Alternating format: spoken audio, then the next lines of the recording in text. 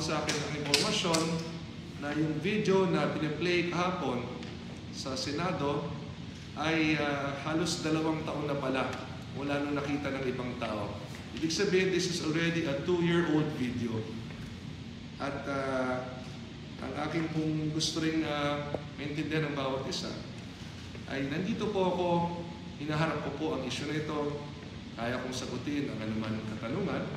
At ang pinakamahalaga sa lahat ay hindi na po ako maghihintay ng dalawang taon pa para lamang aksyonan po ang isyong ito sapagkat ngayon pa lang ay inimbita ko na po ang mga nasa video na pumunta po rito at lahat sa atin ano ba talaga ang nangyari upang malaman natin ano ba ang katotohanan. Sapagkat unang-una, hindi naman pinangalanan sino nasa video. Hindi naman natin alam, totoo ba ang video na ito? Sino ba sila? Kailan ba ito nangyari? Ano bang ebidensya meron sila? At ah, ako naman po, ah, wala naman po akong anumang forum gaya ng privilege speech sa Senado na makapagsalita ng kanyan. Ah, yung mga paratang na binabato po sa atin ay ating sinasagot sa ganitong paraan. Isa po sa gusto ko rin banggitin ay ang tupad program po ay sa ilalim ng DOLE. Yan po ay sa ilalim ng national government. Ibig sabihin, hindi po dumadaan sa San Juan ang pondo o ang sweldo na nakukuha nila. Ang aming tungkulin lamang ay maglista ng mga benepisyaryo, siguraduhin sila po ay kwalipikado at ah, tulungan sila na magkaroon ng ah, DOLE ID o tupad ID at eventually po, no, ang kanilang mga accomplishment reports at TTRs ay isasubmit sa atin na siya naman pong isasubmit natin sa DOLE. Kapag makita po ng DOLE na maayos ang lahat ng papeles, tsaka lang sila magre-release ng pondo para dito.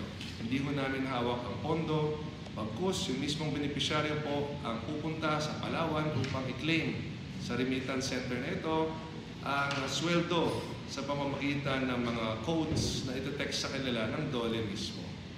At sa loob po ng ah, apat na taon at kalahati na kami po ay nagpapatupad ng tupad program po yung mayor na San Juan, kailanman ay wala naman pong sinabi ang dole sa amin na merong irregularity sa amin pong pagpapatupad ng tupad program.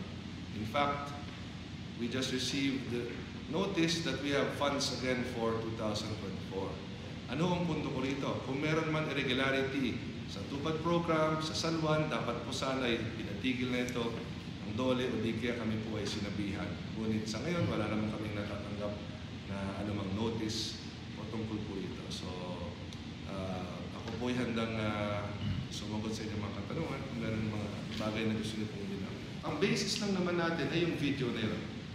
Aside from this video, aside from this uh, privilege speech, wala naman pumunta sa atin upang uh, mag-complain o umangal na nagkaroon ng anumang problema sa tupad. Kaya po, this is specific to the people in the video.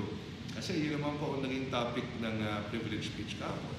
Kaya sa mga bahagi po ng video na yon, kung kayo po ay uh, nanonood, nakikinig ngayon, inanyayahan ko kayo pumunta sa aking tanggapan, huwag kayong matatakot. Uh, Imbitahan ko po ang uh, PNP, ang NBI, ang uh, DOLE, ang uh, DSWD na sumama sa inyong uh, pagpunta rito upang uh, kayo po ay uh, mapalagay na maayos at hindi mag-alala. Sapagkat uh, kung totoo ang inyong mga parata, eh gusto ko kong uh, malaman paano ba nangyari, sino ba ang nakasangkot dito. At mas mabuti ko kasi na talagang harapin natin to ng diretsahan. Kasi yung mga paratang po ay sa pamamagitan lamang ng mga video na hindi naman natin verified. Hindi naman po natin alam ah, sino sila, anong pangalan nila, taga saan ba talaga sila, kailan ba nangyari. Wala, wala pong details. In fact, yesterday I remember when the, the senator uh, from San Juan asked the other senator from San Juan kung uh, identified niya nasa video, ang sinagot nga niya ay hindi niya identified. Ibig sabihin, hindi niya pa pala verified o validated kung sino ang mga nasa video. So, kahit sila pala, hindi nila alam kung sino yung mga nasa video. Yun yung punto ko dyan. So, ako naman po ay I'm coming uh, uh, to you uh, clean, in short. Nandito po ako, inaharap kayo. Mga kaibigan natin sa media, mag-isa lang po ako rito. Wala naman ako sinamang kahit sino. Dahil alam ko po na masasagot natin ang mga paratang na yan. Mayor, sabi niyo naman na hindi dumadaan ang pondo ng tupad sa LGU sa inyo.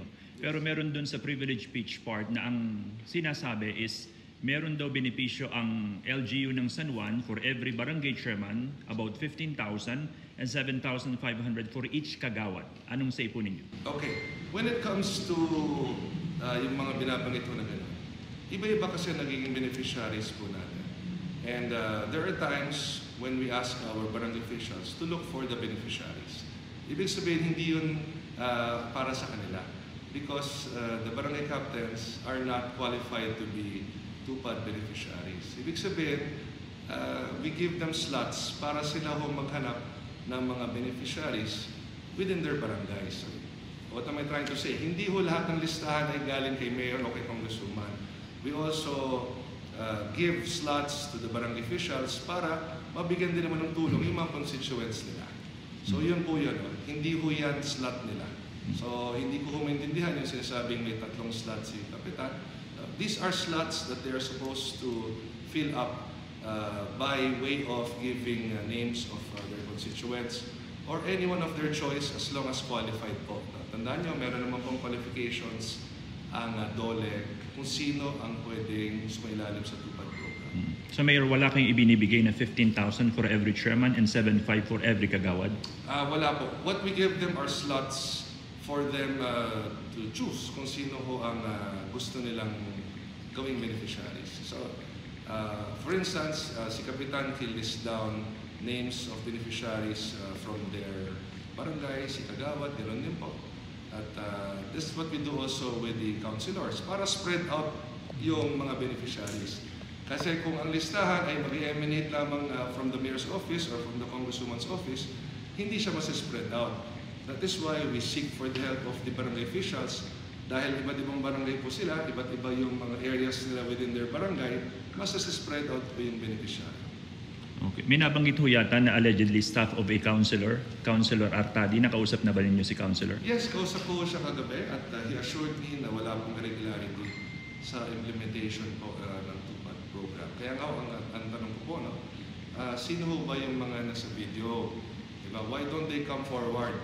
Ba't hindi ko sila pumunta rito para kung talaga bang merong nangyaring uh, bigay ng uh, pera o kickback, eh, mapatunayan nila kung totoo nga ho. Kasi alam niyo po, sasabihin sa video, si Mayor may tinanggap na halaga, 6.5 daw.